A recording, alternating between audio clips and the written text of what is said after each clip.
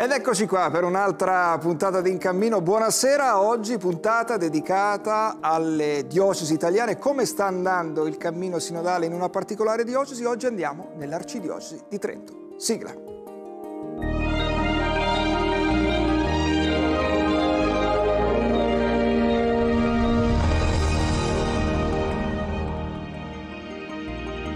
Ecco qua, lo vedete già il nostro primo ospite in studio. Diamo il benvenuto a Don Celestino Ritz. Ben trovato, Celestino. Buonasera a tutti quanti. Grazie per essere sceso da Trento, cioè, dalla neve fino a Roma. Oggi, insomma, un bel viaggio per raccontare un bel viaggio che state facendo in diocesi. Esatto, no? sì. Don Celestino è, fa parte dell'equipe sinodale, uno dei coordinatori dell'equipe sinodale della diocesi di Trento. E poi apriamo subito la finestra eh, su Trento dove ci sono per noi, lo vedete, li vedete inquadrati, Monsignor Lauro Tisi, arcivescovo, ben trovato, ben trovato eccellenza. Altrettanto. Grazie per essere con noi. Insieme al Vescovo c'è Claudia Giordano, che anche lei, insieme a Don Celestino, insomma, è referente dell'equipe del Cammino Sinodale della Diocesi. Intanto grazie a tutti per essere qui, per rappresentare una comunità in cammino come quella eh, di Trento. Eh, eccellenza, una diocesi particolare, perché ogni valle è una cultura, e il fondovalle, quella, la zona dell'Adice, penso ai paesi più grandi, Trento e Rovereto, hanno una realtà particolare. Ci può descrivere che chiesa è quella di Trento?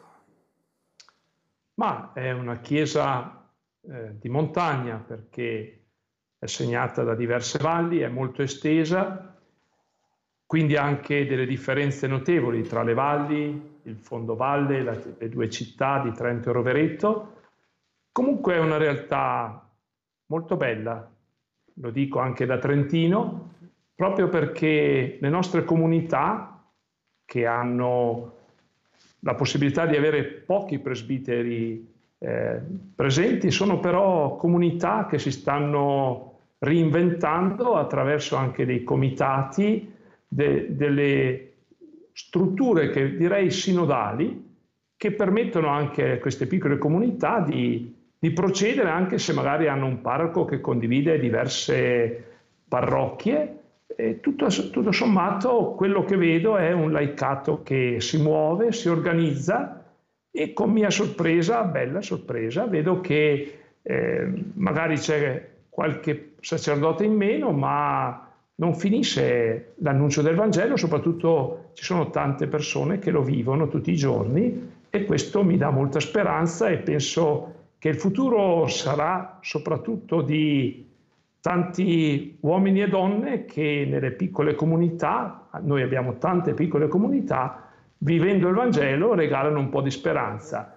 Le due città e il fondovalle ha qualche dinamica un po' diversa, c'è anche una realtà universitaria molto importante a Trento e a Rovereto, eh, però anche le due città hanno delle loro dinamiche interessanti in questi anni hanno anche saputo sviluppare iniziative culturali notevoli, forse qualcuno di voi ricorda i festival dell'economia e altri festival, e per cui io sono contento c'è un movimento, della insomma, c'è terra. Movimento. È una chiesa realmente in cammino che anche data insomma, la conformazione geografica e culturale può essere, eh, Don Celestino, un, anche un laboratorio no? di esempio per, per, tutta la Chiesa, perché un po' le differenze che ci sono anche appunto eh, culturali e anche magari eh, questa dispersione, ci diceva Sua Eccellenza, pochi preti, però le comunità esistono, ci proietta un po' in una Chiesa eh, del futuro. Che esperienza è stata quella sinodale, de, Don Celestino, questi, di questi primi due anni e mezzo?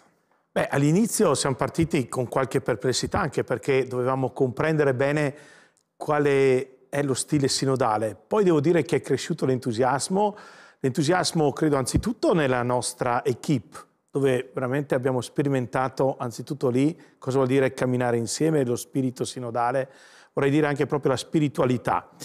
Poi, grazie alle iniziative che abbiamo promosso, caratterizzate dalla leggerezza e semplicità, perché non volevamo assolutamente offrire delle proposte che diventassero qualcosa di pesante per la pastorale già molto eh, impegnata.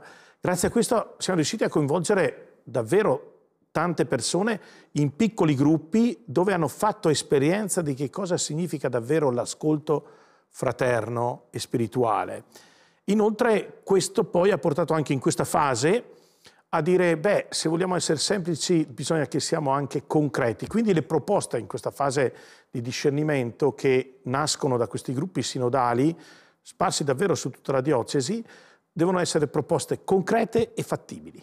Eh, eh, Claudia Giordano, eh, proposte concrete, fattibili, che avete in qualche modo raggruppato in tre filoni, in tre cantieri, eh, cantiere giovani, cantiere donne, cantiere fragilità. Partiamo eh, dai giovani, che risposta avete avuto e come li avete coinvolti eh, rispetto appunto alla prima fase di ascolto?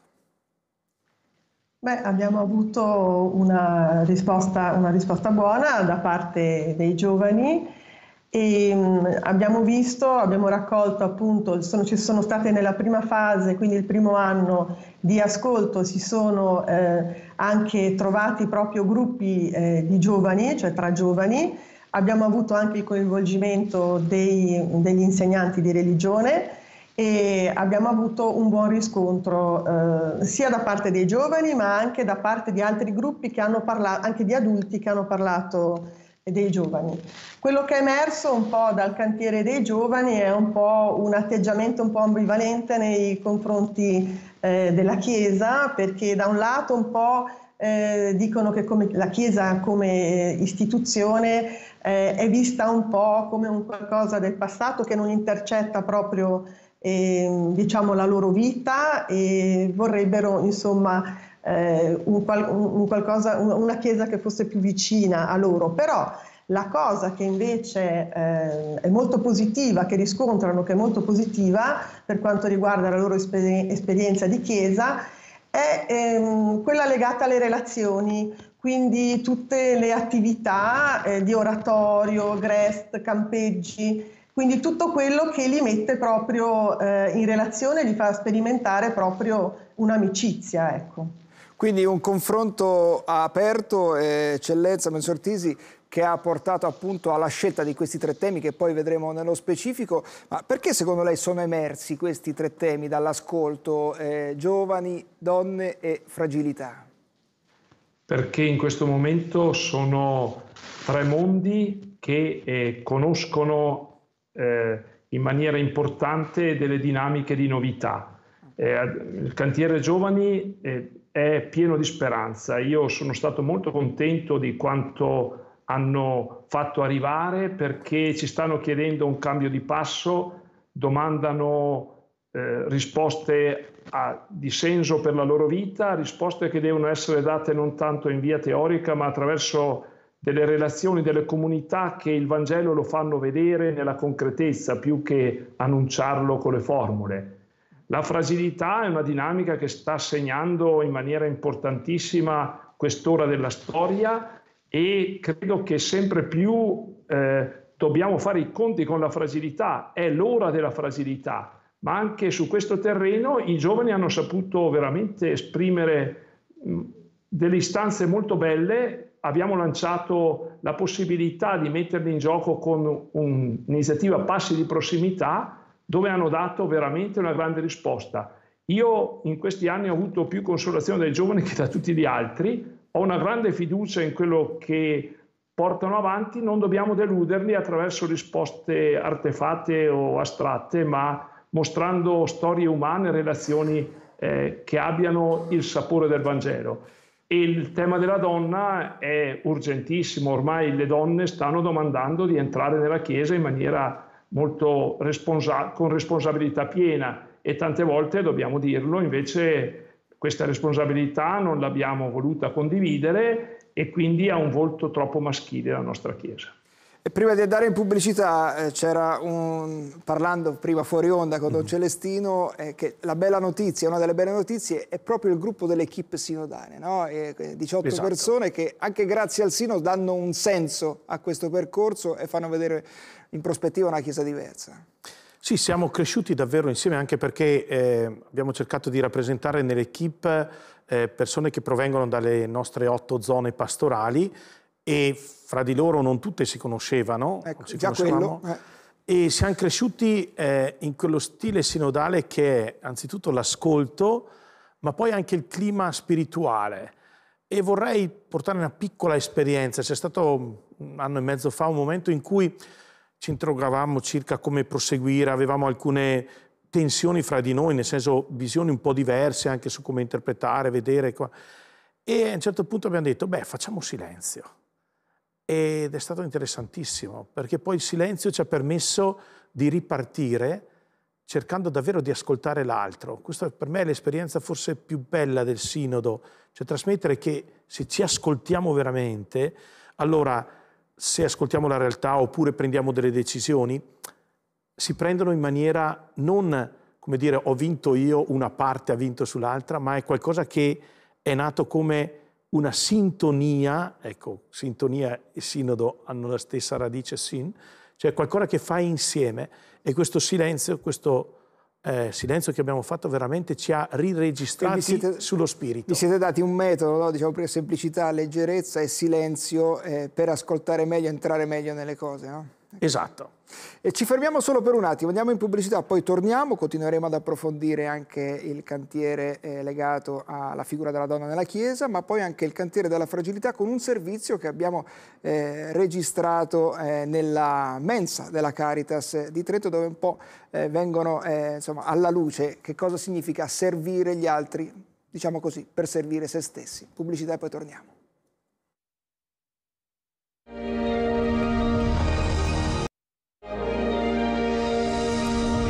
Bentornati, stiamo raccontando il cammino sinodale dall'Arcidiocesi di Trento, lo stiamo facendo con in studio Don Celestino Rizza, ancora ben trovate, collegati da Trento Monsignor Lauro Tisi e Claudia Giordano. E allora tornerei proprio da Claudia perché prima abbiamo parlato del cantiere delle donne.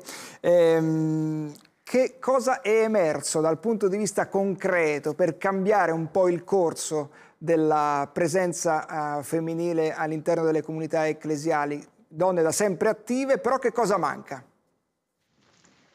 Ma eh, dalle sintesi che ci sono arrivate, eh, da quello che abbiamo potuto constatare, c'è, come si diceva anche prima, eh, questa esigenza appunto eh, di arrivare ad una reale uguaglianza e a una reale corresponsabilità all'interno della Chiesa e mm, quindi anche nell'assunzione di ruoli eh, più decisionali però tutto questo non in un'ottica eh, di potere, diciamo così, quello che è emerso è eh, un discorso che, di servizio, cioè di recuperare proprio eh, il potere ma nel senso eh, di servizio, quindi il, il, potere evangelico è in realtà servizio.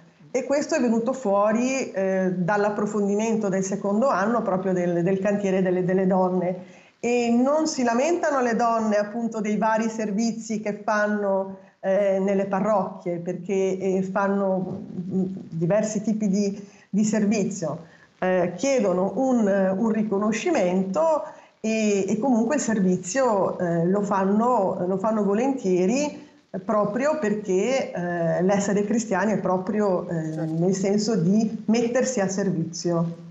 A proposito di servizio, sono tanti i volontari che quotidianamente prestano eh, la loro opera anche nella mensa della Caritas eh, di Trento. Noi eh, vi portiamo proprio a conoscere eh, i volontari e anche a capire che cosa significa eh, confrontarsi ogni giorno con le fragilità. Vediamo.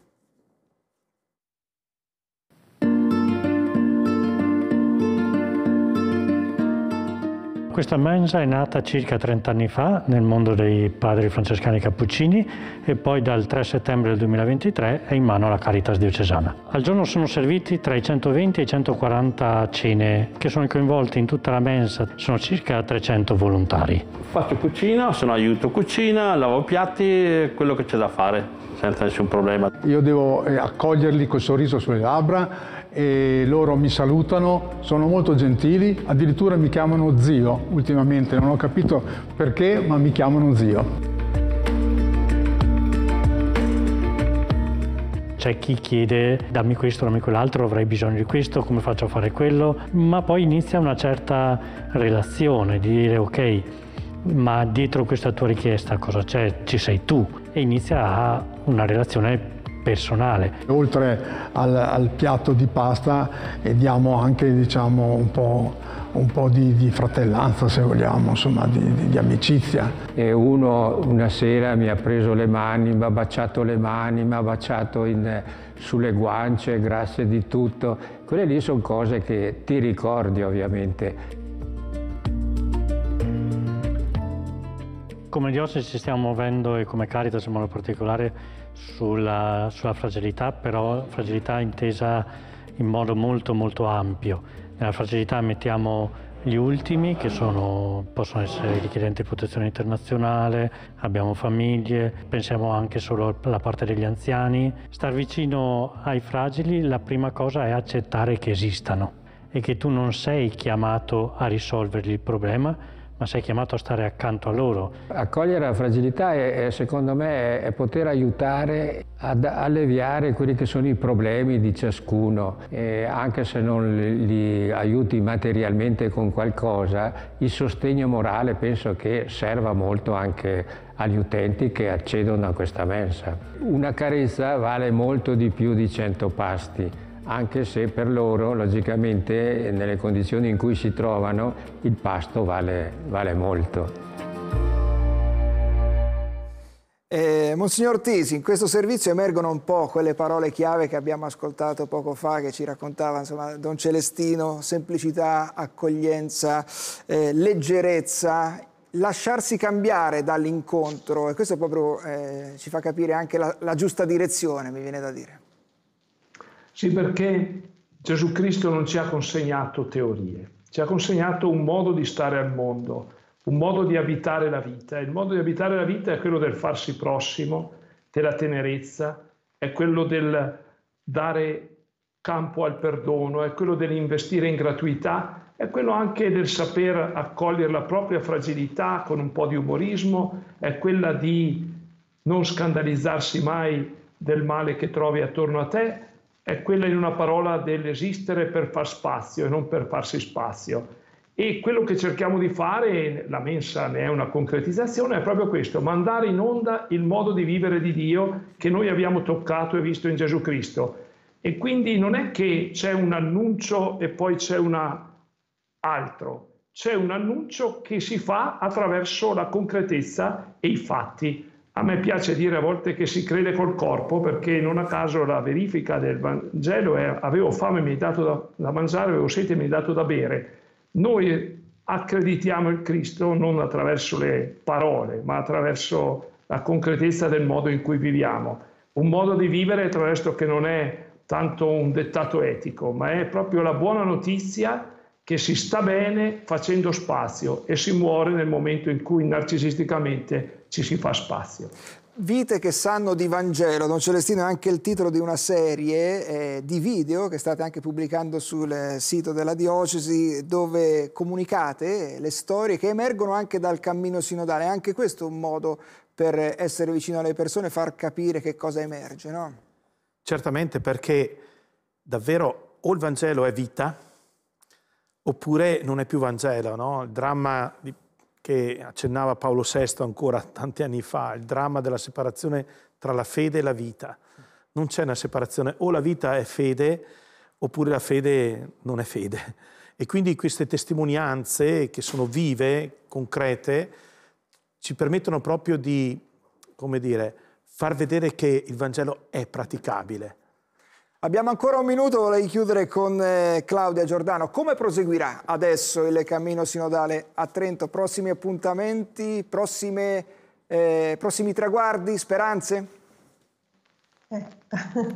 Adesso siamo ovviamente nella fase sapienziale, quindi stiamo eh, raccogliendo tutto quello che, che sta emergendo dai gruppi che si stanno incontrando in vista proprio anche di, eh, oltre all'ascolto, questa volta anche di eh, un discernimento eh, tramite l'ascolto e quindi alla luce della parola e alla luce appunto di quello che lo Spirito dice attraverso ogni fratello e ogni sorella. E, e poi eh, vedremo, noi ci aspettiamo appunto eh, delle proposte, delle proposte concrete sui, sui tre cantieri che appunto come dicevamo, dicevamo prima devono essere percorribili, fattibili e, e quindi eh, proseguiremo sia a livello diocesano con eh, il nostro vescovo e eh, ovviamente tutto quello che emergerà lo manderemo anche a livello nazionale poi per dare il nostro contributo come diocesi al cammino a livello nazionale. E allora buon cammino a tutti voi, buon cammino all'Arcidiocesi di Trento, questa sera rappresentata da Claudia Giordano, Monsignor Lauro Tisi, Don Celestino Rizze e alla prossima. Alla prossima, grazie. grazie. veramente per essere grazie. stati con grazie noi. Grazie. Noi ci ritroviamo, se volete saremo qui anche domani sera per un'altra puntata in cammino puntuali 19.30, 19.32 per appunto andare a scoprire altre storie in questo lungo e bello entusiasmante cammino sinodale. Buona serata!